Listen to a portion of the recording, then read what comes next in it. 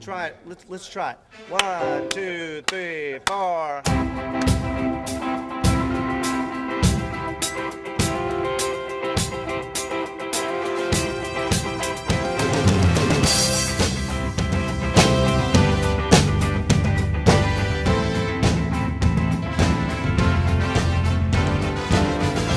Purpose of this isn't to, you know, show the history of contemporary Christian music or to highlight any era. It's just, you know, kind of in those beginning days and years, here's some of the music that touched people's lives. Here's a, just a smattering of the artists that were out there doing it.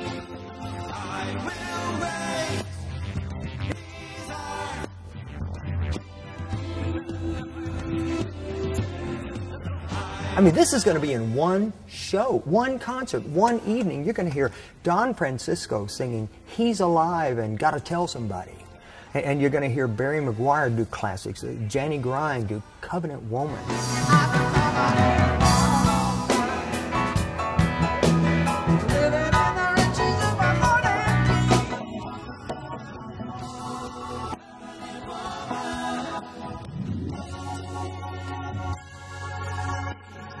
But it's a really nice cross section from from Barry McGuire to Chuck Girard to David Meece to the Archers to me to Reba. You know, it's a really interesting cross section. Uh, you compile all that artistry and all those songs and all those albums, as we used to call them. You're talking about millions of lives that were touched by the songs that, that will be heard in this concert. That's an amazing thing. I, I'm so glad it's being captured.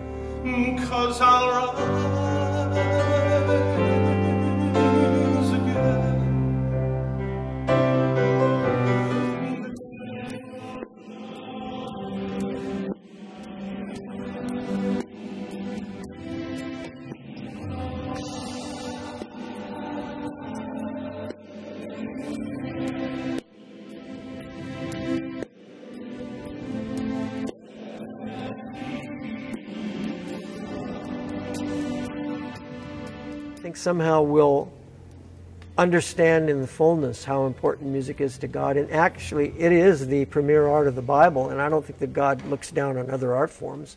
It's just that this is close to his heart because this is how man can express his love to God in the most effective way. And that's what music's about.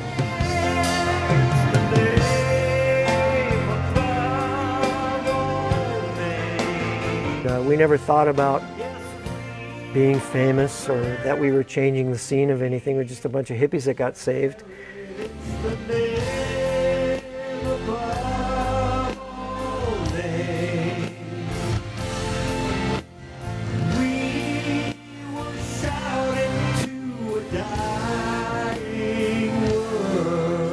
So I think the great value for this is that people that will not relate to the church anymore will relate to something like this. I don't want one person to leave this place without having been changed by the Spirit of God, and that's what I'm believing.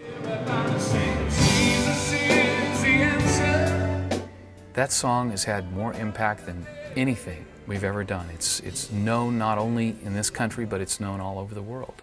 Touched a lot of people's life. And you look back and you go, wow, that's a gospel classic.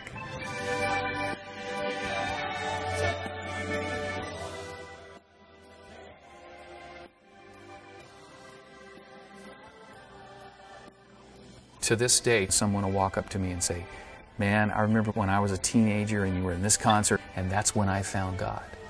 That's when I found Jesus. That's, that's the best. Growing up in church, you knew that music did not reach your friends at high school. You know, they knew you were a Christian, they knew you were a preacher's kid, but it was like, eh, you know, not into church music. They were into rock and roll, they were into this, they were into that.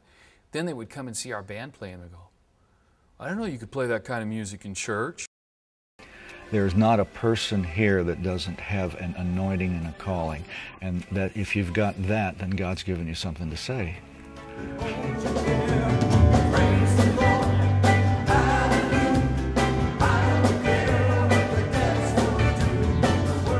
I want to preach the gospel. I want to see people's lives changed. I want to tell people about how good God is, about how much He loves them.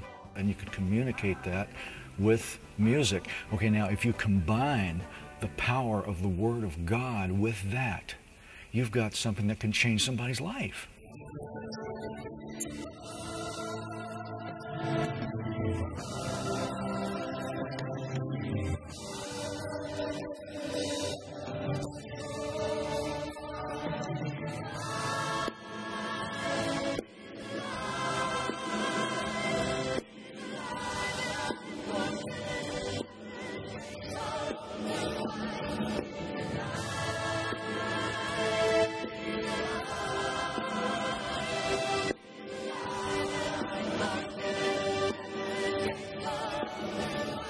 What's happening here is spontaneous joy beyond words. Come on, everybody, sing it all together, all the way through. Bullfrogs and butterflies, we've both been born, we've been born again.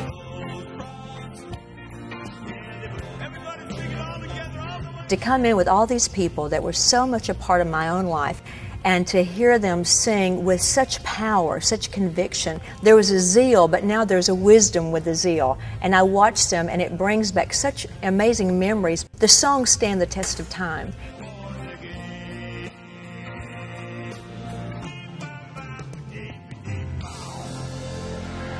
Well, these guys have been the ones that say, if, if I can walk, I can go. If I can talk, I can sing.